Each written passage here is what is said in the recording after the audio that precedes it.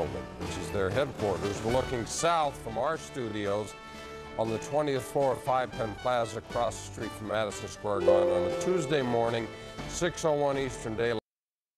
May go to prove his mortality after all. which is their headquarters. We're looking south from our studios on the 20th floor of Five Penn Plaza across the street from Madison Square Garden on a Tuesday morning, 6.01 Eastern Daylight Time. I'm Jack Cafferty. This is CNN.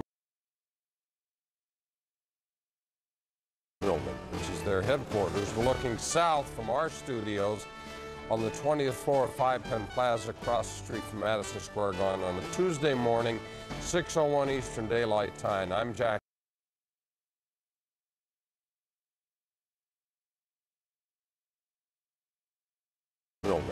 Their headquarters. We're looking south from our studios on the 20th floor of Five Penn Plaza across the street from Madison Square Garden on a Tuesday morning, 6.01 Eastern Daylight Time. I'm